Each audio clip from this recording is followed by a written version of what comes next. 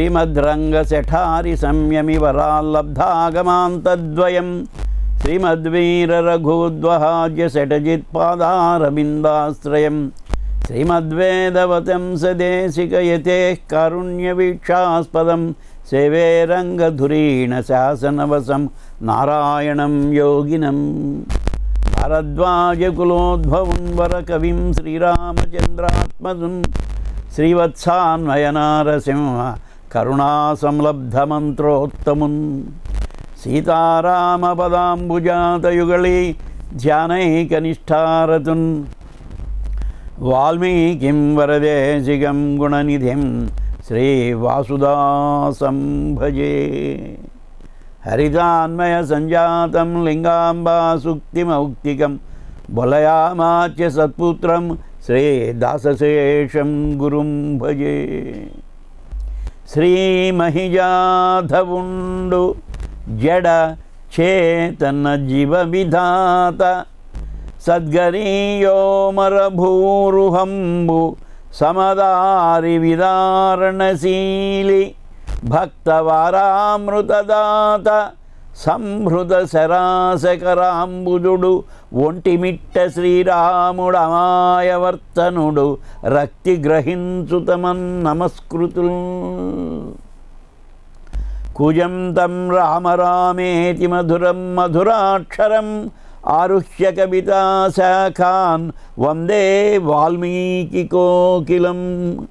హరిదాన్వయ సంజాతం లింగాంబా సుక్తిముక్తికం బొలయామాచ్య సత్పుత్రం శ్రీదాసశేషం గురుం భజే మనోజవం మారుతతుల్యవేగం జితేంద్రియం బుద్ధిమతాం వరిష్టం వాతాత్మజం వానరయూధముఖ్యం శ్రీరామదూతం శిరసాం నమామి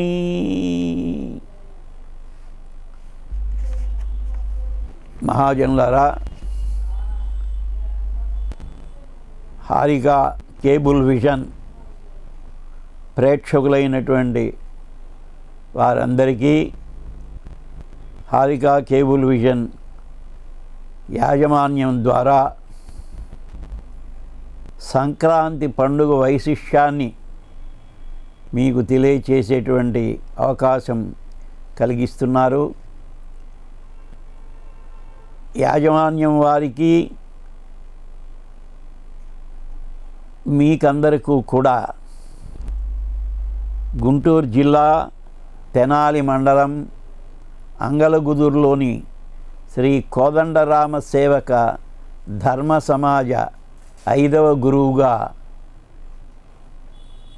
మీకందరకు కూడా శ్రీ సీతాలక్ష్మణ హనుమత్ సహిత కోదండరామస్వామి వారు సర్వ శ్రేయస్సులు కలుగజేయవలసిందిగా ప్రార్థిస్తూ సంక్రాంతి పండుగ వైశిష్యాన్ని వివరించడానికి ప్రయత్నిస్తాను. హిందువులకు ముఖ్యముగా ఆంధ్ర రాష్ట్ర ప్రజలకు మరియు తెలుగు మాట్లాడే వారికందరకు సంక్రాంతి పండగ చాలా ముఖ్యమైన పండగ. ఇది మూడు రోజుల పండగ. మొదటి రోజు భోగి పండుగనియు రెండవ రోజును సంక్రాంతి పండుగనియు మూడో రోజు కనుమ పండుగనియు పేర్కొంటారు. ఒక్కొక్క దినమునకు ఒక్కొక్క ప్రాశస్త్యం ఉన్నది.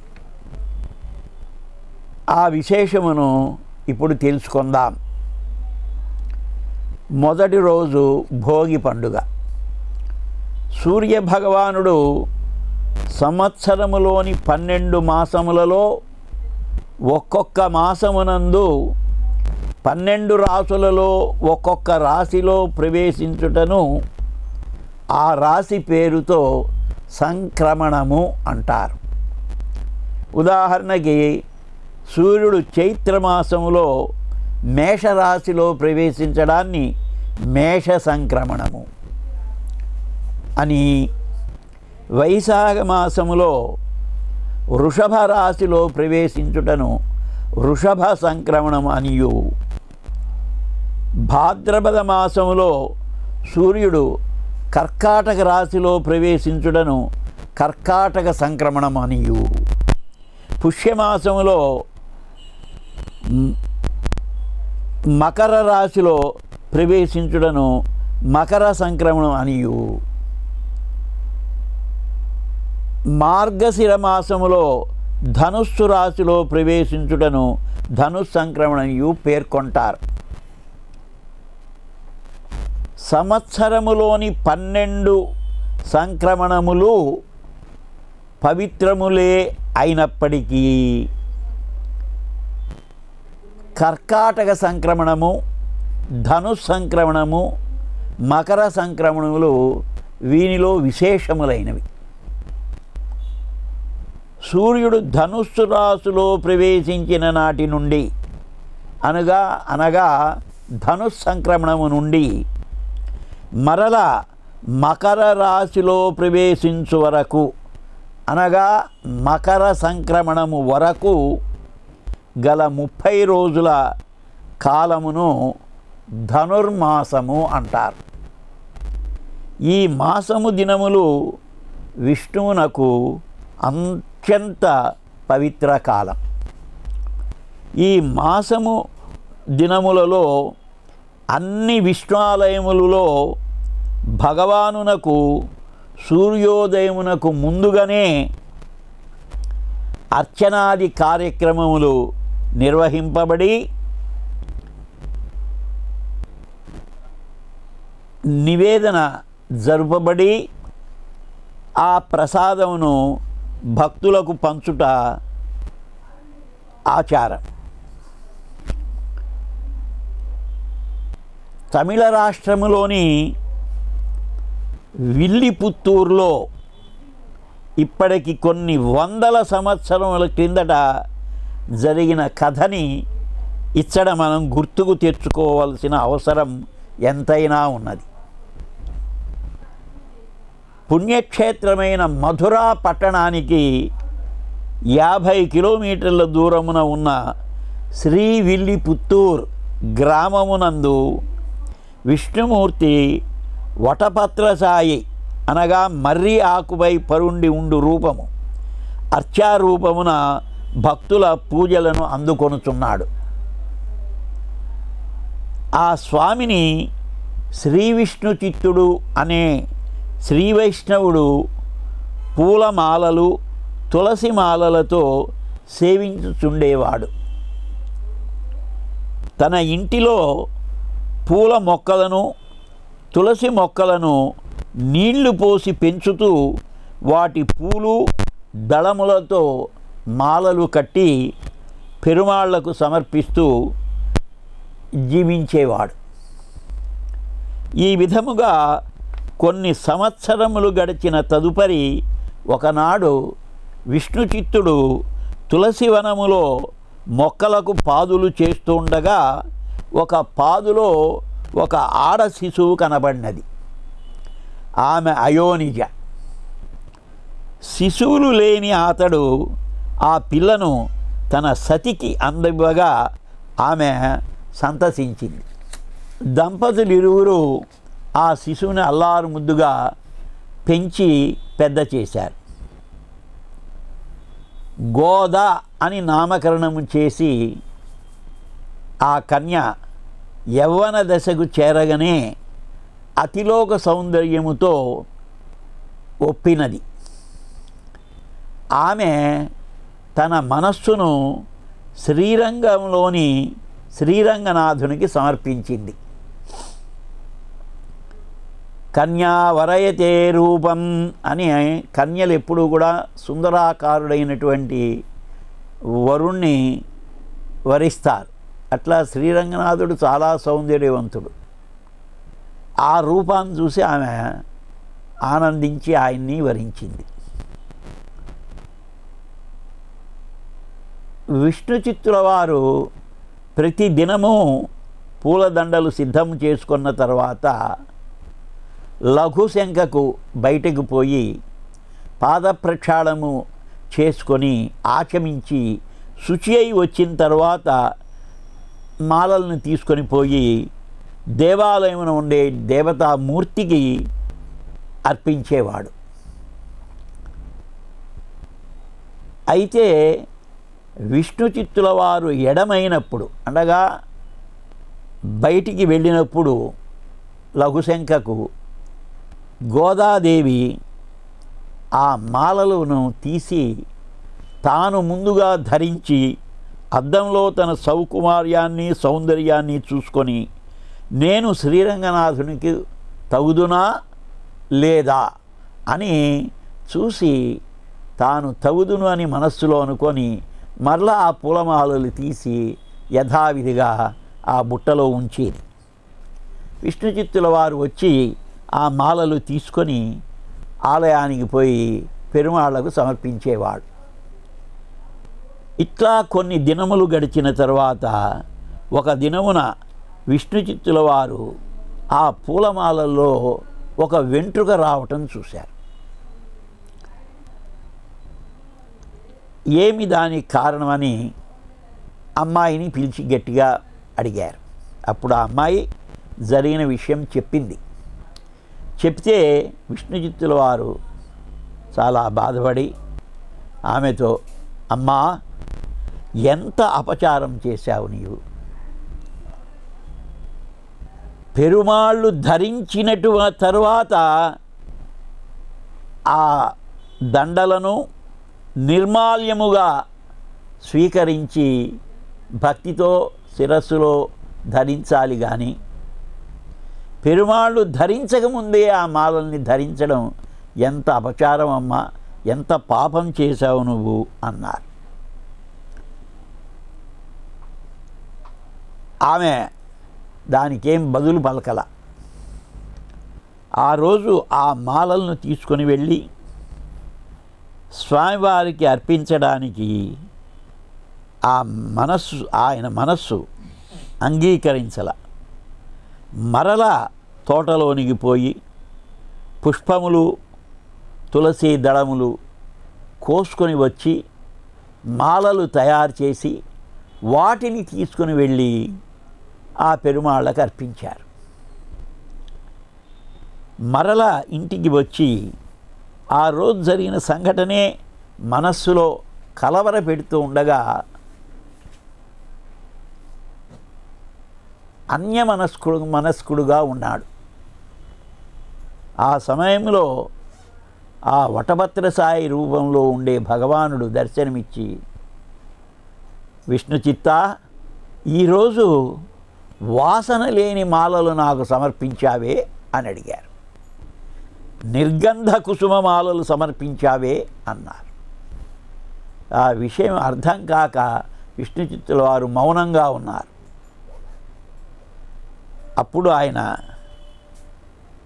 విష్ణుచిత్త నీ ఇంటిలో ఉన్నటువంటి గోదాదేవి ఎవరనుకుంటున్నావు?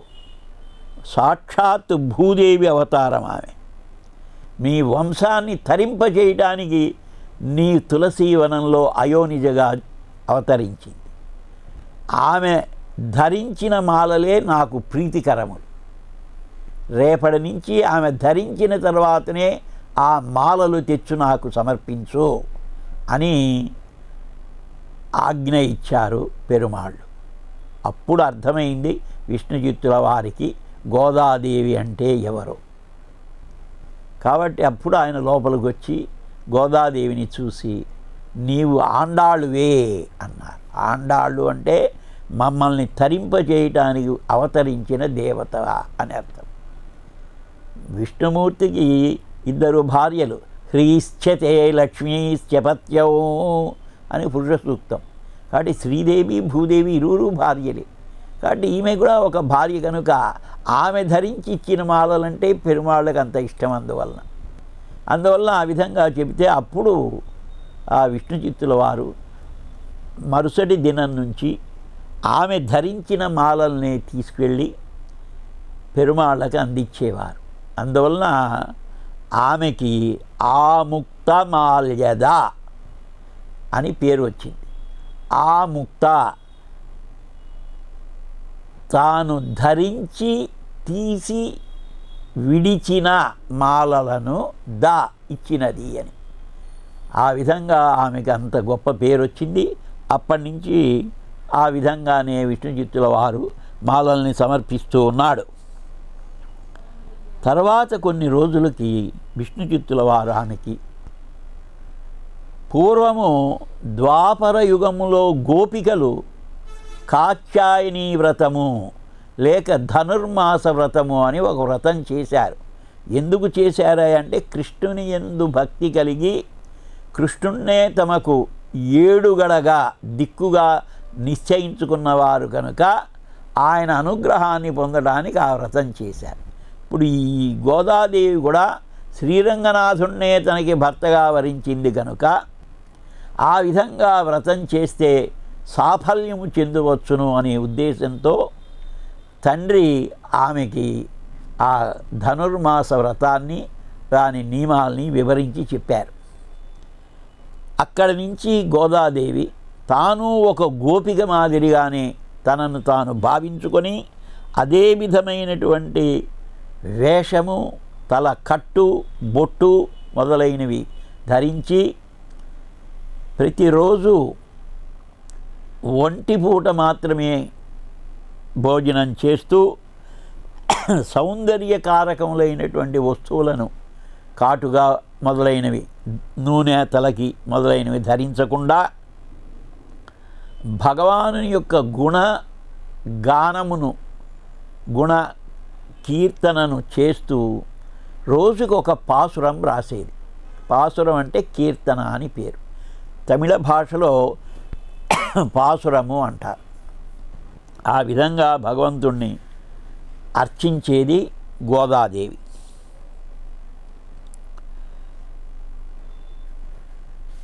ఇట్లా కొన్నాళ్ళు జరుగుతున్న తర్వాత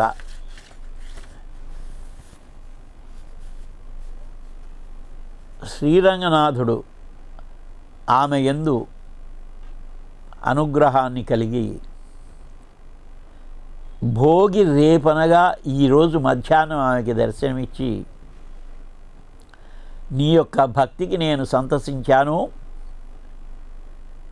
రేపు నీవు సర్వ ఆభరణములు ధరించి సర్వ నియమాలు విసర్జించి నీవు శ్రీరంగానికి వచ్చి వస్తే నేను అక్కడ నిన్ను వివాహం చేసుకుంటాను. నిన్ను పిలుచుకొని వెళ్ళటానికి శ్రీరంగం నుంచి ఆలయ అధికారులు నా ఆజ్ఞ ప్రకారం మీ ఇంటికి వస్తారు అని చెప్పి అంతర్ధానం అవుతారు. మరుసటి రోజున ఆమె సమస్త ఆభరణాలు ధరించి ఉంటుంది. దేవాలయ అధికారులకి రంగనాథుడు కనపడి విల్లిపుత్తూరుకు పోయి గోదాదేవిని సమస్త లాంఛనాలతో అంటే ఛత్ర చామర మంగళ తూర్య నినాదములతో ఇక్కడికి తీసుకొని రెండు నేను ఆమెను వివాహం చేసుకుంటాను అని చెప్తారు. ఆలయ అధికారులందరూ కూడా విస్తుపోయి విల్లుపుత్తూరుకు వచ్చి విష్ణుచిత్తుల వారిని కలిసి వారికి స్వామి స్వప్న వృత్తాంతం తెలియచేసి గోదాదేవితో సహా ఛత్ర చామరాది అలంకారములతో ఆమెని ఆ మంటపానికి తీసుకెళ్తారు శ్రీరంగంలో. మంటపంలో అర్చామూర్తికి ఈమెకు వివాహం జరుగుతుంది శాస్త్రోక్తంగా. తర్వాత ఆమె మూల విరాట్టుని చూడటానికి గర్భగుడిలోనికి పోయి ఆయన పాదాలకి నమస్కరించి అక్కడే అంతర్ధానం అవుతుంది అప్పుడు విష్ణుచిత్తుల వారు చాలా బాధపడుతూ ఉంటే శ్రీరంగనాథుడు దర్శనమిచ్చి నీ యొక్క వంశాన్ని తరింపజేయటానికి అవతరించిన భూదేవయ్య ఈ గోదాదేవి ఆమె రచించిన పాసురాల్ని పాడుకుంటూ ఆమె ఏ విధంగా జ్ఞానబోధని కలిగించిందో ఆ జ్ఞానబోధని మీరందరూ కూడా విస్తృత ప్రచారం చేయండి అని చెప్పి ఆశీర్వదించాడు రంగనాథుడు. కనుక ఈ ధనుర్మాసములో ముప్పై రోజుల కాలంలో ఈ ముప్పై పాసురాలు చదివితే ఆ భగవాన్ యొక్క అనుగ్రహం మన మీద కూడా ప్రసరిస్తుంది అని నమ్మకంతో విష్ణు దేవాలయాలన్నింటిలో కూడా ఈ ధనుర్మాస వ్రతాన్ని చేస్తారు. భోగములన్నిటినీ కూడా అనుభవించమని చెప్పిన రోజే భోగి. అందువలన భోగి అంటే సమస్త భోగములను ఆమె అనుభవించిన రోజు అని అర్థం. అందువలన భోగి అని ఈ పండగ మూడు దినాల్లో మొదటి రోజుకి పేరు వచ్చింది. ఇది భోగి పండగకు గల కారణం. ఇక లోకంలో ఈ భోగి పండుగ నాడు మనం ఏమేం చేస్తుంటామో ఆ విషయాలన్నీ కూడా తెలుసుకుందాం. ఈ పండుగ దినానికి కొద్ది రోజులు ముందుగానే పొలాలు బాగా పండి ధాన్యం ఇంటికి వస్తుంది. ఇంట్లో ధాన్య బస్తాలు ఉంటాయి. అందరూ కూడా ఆనందంతో ఉంటారు. ధాన్యం అంటే డబ్బే ఇప్పుడు. పూర్వకాలము ధాన్యమే ఇచ్చి ఇంకొక వస్తువు కొనుక్కునేవారు. బార్టర్ సిస్టమ్ అని అంటారు ఎకనామిక్స్లో దాన్ని. ఒక వస్తువు నుంచి ఇంకో వస్తువును తీసుకోవటం. అందువలన ఆ ధాన్యం ఇంటి మీద ఉండేది. గాదెల్లో పోసి ఉంచేవారు. వాటినే బస్తాలలో పెట్టి పూసే పోసి ఉంచేవారు. ముందు ఇళ్ళలో పాత్రలలో పోసి ఉంచేవాడు ఇట్లా ఆ పౌష్యలక్ష్మి అంటారు ధాన్యాన్ని. పుష్యమాసంలో వచ్చే లక్ష్మీదేవి అని ఈ పౌష్యలక్ష్మితో ఇల్లు కలకలలాడుతూ ఉంటుంది. హరిదాసులు ఈ నెల రోజులు ధనుర్మాసంలో తెల్లవారుజామునే నామాలు ధరించి తంబుర చేత పట్టుకొని విష్ణు కీర్తనలు ఆలాపిస్తూ గ్రామమంతా తిరుగుతారు. వారు మన ఇంటికి రాగానే ఇంట్లో ఉండే వాళ్ళందరూ కూడా ఆయన తల మీద పెట్టుకున్న పాత్రలో బియ్యము మొదలైన వస్తువులు వేసేవారు. బుడబుక్కల వాళ్ళు ఇళ్ళకు వస్తారు ఈ మాసంలోనే. వాళ్ళు అంబబలుకు జగదంబబలుకు అని అనుకుంటూ ఇళ్ళకు వచ్చి వారి యొక్క విద్యని ప్రదర్శిస్తారు. ఇంట్లో ఉన్న గృహిణి లేక యజమాని కొంచెం ధాన్యం అతనికి ఇచ్చి పంపిస్తారు. గంగిరెద్దుల వాళ్ళు ఎద్దుని బాగా అలంకరించి తీసుకొని వస్తారు మేడంతో. అమ్మగారికి దండం పెట్టు అయ్యగారికి దండం పెట్టు అంటూ మన ఇంటి ముందు ఆ గంగిరెద్దును ఆడిస్తారు. ఇంటి యజమాని అతనికి ఇంట్లో ఉండే ఏదైనా పాత వస్త్రం కానీ లేక కొత్త వస్త్రం కానీ ఇస్తే అతను తీసుకొని వాటితో పాటు ఇచ్చినటువంటి గింజలు ధాన్యము మొదలైనవి డబ్బులు అవి తీసుకొని వెళ్తుంటారు. ఈ భోగి దినమున నూతనముగా కొన్న మట్టి బొమ్మలు క్రిందటి సంవత్సరం ఉన్నటువంటి మట్టి బొమ్మలు కూడా బల్లలపైన వరుసల్లో అమర్చేవారు. ఈరోజు పేరంటం చేస్తారు భోగినాడు చుట్టుపక్కల ముత్తైదుల్ని పిలిచి. బొమ్మల పండుగ అంటారు దాన్ని. ఆ విధంగా చేసి పేరంటం చేసి ముత్తైదుల యొక్క ఆశీస్సులు తీసుకొని కన్నెపిల్లలు ఆనందంతో ఉంటారు. కాబట్టి ఈ భోగినాడు ఇన్ని ఉన్నాయి కార్యక్రమాలు. అదే సమయంలో చిన్నపిల్లలు ఎవరైనా ఉంటే వాళ్ళకి రేగుపళ్ళు చక్కెర చెరకు ముక్కలు శనగలు మొదలైనవి కలిపి వారికి తల మీద పోసేవారు. దిష్టి తీసినట్టుగా ఈ పిల్లవాడు అభివృద్ధికి రావాలి దిష్టి ఉండకూడదు అని చెప్పి. అట్లా ఆ పండగ నాడు ఈ భోగి పండగ నాడు కార్యక్రమాన్ని నిర్వహించేవారు. క్రొత్తగా వివాహమైనటువంటి అల్లుండ్రు ఇళ్ళకి రావటం పరిపాటి. ఈ పండగ మూడు రోజులు వాళ్ళు ఇంట్లోనే ఉంటారు. వారికి తలంట్లు పోసి భోగినాడు కొత్త బట్టలు పెట్టి అన్ని రకాలైనటువంటి పిండి వంటలతో భోజనాలు పెట్టి అల్లుళ్ళని గౌరవించడం ఒక విధమైనటువంటి ఆచారం. అంతేకాకుండా ధనుర్మాస నెల రోజులు కూడా స్త్రీలు ఆడపిల్లలు ఆవు పేడ తీసుకుని వచ్చి దాంతో గొబ్బెమ్మలు తయారు చేస్తారు. ఇంటి ముందు ముగ్గులు వేసి ఆ ముగ్గుల్లో గొబ్బెమ్మల్ని పెట్టి తమ ఇంటి పరిసర ప్రాంతాలలో ఉన్న పూలు తెచ్చి వాటికి పెట్టి వాటికి పూజ చేసినట్టుగా భావించి బెల్లము లేక చక్కెర లేక ఏదైనా పండు నివేదన పెట్టి అది అక్కడ ఉండే పిల్లలందరికీ అందజేసేవాళ్ళు. ఈ యొక్క గొబ్బెమ్మల్ని మధ్యాహ్నం పన్నెండు గంటల వరకు ఉంచి తర్వాత తీసి గోడకి కొట్టేవాళ్ళు. కొట్టి పిడకలుగా తయారు చేసేవారు. ఈ పిడకల్ని రథసప్తమి సూర్య జయంతి ఆనాడు ఆ ఎండిన పిడకల మీద పాయసం పొంగలి లేకపోతే పొంగిచ్చి నివేదన వండి సూర్య భగవానుడికి నివేదన చేసి ఇంటిల్ల పాది ఆరగించేవారు. కాబట్టి భోగినాడు ఇంత విశేష కార్యక్రమం ఉన్నది. మరి ఒక కార్యక్రమము ఈ నెల రోజులు కూడా తమ ఇండ్ల వాకిళ్ళలో చక్కగా పేడతో అలికి ముగ్గులు రకరకాల ముగ్గులు పెట్టేవాళ్ళు స్త్రీలు. అంతేకాక కొంతమంది నిర్వాహకులు ముగ్గుల పోటీ కూడా ఏర్పాటు చేస్తారు.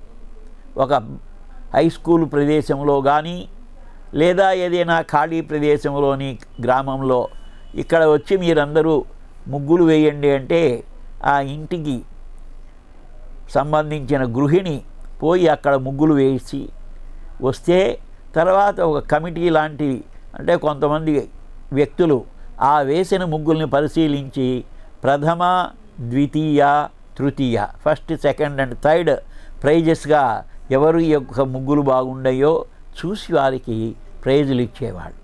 రంగవల్లికలు అంటే వాడి పేరు. వార్తాపత్రికల్లో కూడా ఈ మధ్య విపరీతంగా ఈ రంగవల్లికలను గురించి రాస్తూ ఉన్నారు. మీ యొక్క ముగ్గులు వేయండి బలానా చోట అని. మరి ఒకటి ఏమిటంటే గ్రామాలలో కోడి పందాలు జరిగేవి అప్పట్లో ఎక్కువగా. అయితే అప్పుడు కేవలం కోళ్ళని పెంచటంలో ఉన్న గొప్పదనాన్ని మా కోడి ఎంత బలిష్టమైనదో చూడమని చెప్పడానికే ఆ పందాలు ఆడేవారు కానీ ఇంకా వే ఆ పోటీ జరుపబడేది కానీ వేరే ఉద్దేశం కాదు. ఇప్పుడు అది క్రమక్రమంగా ఒక కోడిని మరి ఒక కోడి విజయం చేయటానికి జయించటానికి ఆ కోడి యొక్క కాళ్ళకు కత్తులు కట్టి రెండవ కోడి చనిపోయేంత వరకు ఈ పోటీ జరుగుతూ ఉండేది. దానికి ఎన్నో వేలు లక్షలు కూడా ఖర్చు పెడుతుండేవారు. ఇది గమనించినటువంటి ప్రభుత్వం వారు ఈ సంవత్సరము కోడి పందాలు సంక్రాంతి సమయంలో భోగి పండుగ సమయంలో నిషేధించారు. దానికి చట్టపరమైన చర్యలు కూడా తీసుకుంటూ ఉన్నారు. మరి ఒక విశేషం ఏమిటి అంటే గ్రామాలలో నాలుగు రోడ్ల కూడళ్ళలో పెద్ద పెద్ద మొద్దులు తెచ్చివేసి మంట చేసి పెద్ద పెద్ద కాగులు రాగి కాగులు నీళ్ళు కాచేవారు. ఆ నీళ్ళతో స్నానాలు చేసేవారు. చలిమంటలు కాచుకునేవారు. ఈ మంటల్ని భోగి మంటలు అని పేర్కొనేవారు. తర్వాత భోగి నాడు అరిసెలనే పిండి వంటలు తప్పక చేసేవారు ప్రతి ఇళ్ళలో కూడా. తమ యొక్క శక్తి కొలది రెండు రోజులు నిలవ ఉండేటట్టుగా కొంతమంది కాస్త విభవం ఉన్నటువంటి వాళ్ళు ఒక వారం రోజులు ఉండేటట్టు ఆ అరిసెలు తయారు చేసి ఇంట్లో పెట్టుకునేవాళ్ళు. ఈ వారం రోజులు కూడా ఆ అరిసెల్ని తమ బంధువులు హితులు సన్నిహితులతో కలిసి స్వీకరించేవాళ్ళు. ఇట్లా భోగి పండగ నాడు ఇన్ని రకాలైనటువంటి కార్యక్రమాలతో జరుపుకునేవాళ్ళు. ఇక రెండవ రోజు సంక్రాంతి పండగ. మంగళాశాసనం చేస్తున్నాం. నమోస్తు రామాయ సలక్ష్మణాయ దేవ్యై చ తస్యై జనకాత్మజాయై. నమోస్తు రుద్రేంద్రయమానిలేభ్యో. నమోస్తు చంద్రార్క మరుద్గణేభ్య స్వస్తి ప్రజాభ్య పరిపాలయంతా న్యాయేన మార్గేణ మహిం మహీసా గోబ్రాహ్మణేభ్య సోమస్తు నిత్యం లోకా సమస్త సుఖినో భవంతు స్వస్తి సర్వేషాం సుఖినో భవంతు ఓం శాంతి శాంతి శాంతి ఇప్పుడు సూర్యుడు మకర రాశిలో ప్రవేశించిన సంక్రమణాన్ని మకర సంక్రమణము అంటారు. ఆ రోజు నుంచి దాన్ని ఉత్తరాయణ పుణ్యకాలము అంటారు. ఇది